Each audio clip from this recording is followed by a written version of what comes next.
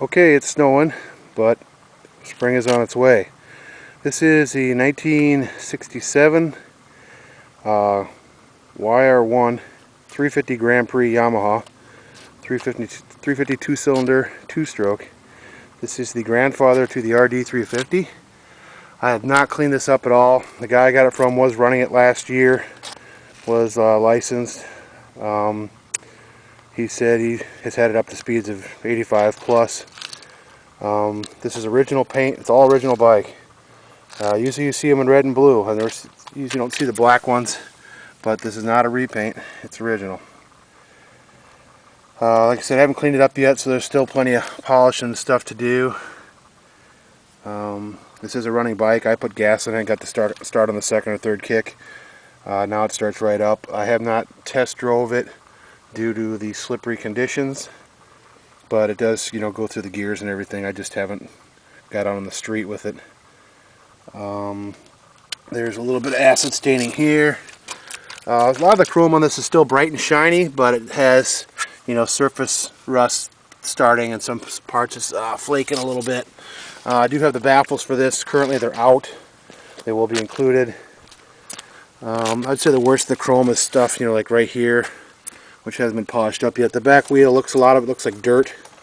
Uh, most of it looks like dirt. It looks like they'll clean up good. Uh, there's a few spots on the underside of the mufflers here. As all as a whole, you know, you look at this and it looks like a real nice, clean Survivor. Um, you know, the, I think the important stuff is the paint because that's so original once you can rechrome things and it's not such a big deal if you really wanted to make it look perfect. Looks like the rubbers are gone for the carbs. They put some little pipes on there with zip ties, which I guess would do the job. It's got Clubman bars on it. Uh, it's showing, excuse the snow, uh, 10,561 miles. Um, there's your front wheel. You know, there's a little stuff kind of starting here and there. Worst part of the front fenders are up here, some flakes coming off. Uh, the rim, I think, looks front rim looks real nice on the spokes look nice on it. Front tires got some weather checking. It's a Dunlop, I don't know if it's original or not. Um, tank is like absolutely like new inside all the way down to the bottom. You can still see like the original brazing marks where they put the tank together or welding marks whatever they did.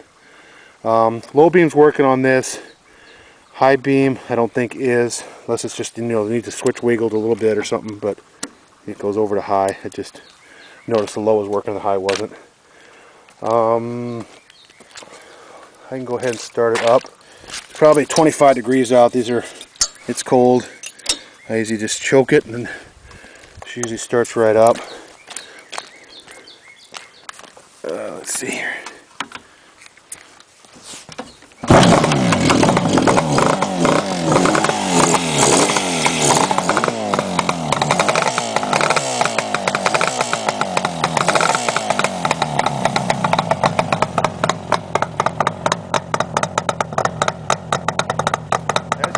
Sounds pretty tough without the baffles.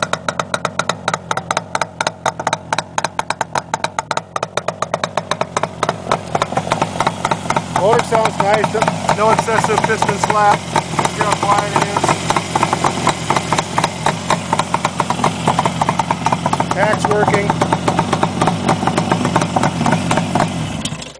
Now it's my experience with these videos and motor always sounds noisier than it does, but this sounds pretty dang nice for a two-stroke.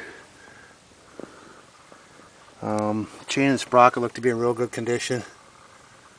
Um, I guess that's about it. This does come with a title and an owner's or a service manual and the baffles. Um, oh, this badge here is real nice. It's got the wrong kind of screws in it. This badge over here has the right screws, but there is like a crack here. I think it could be prepared and polished up and look real nice. Um, that is about it.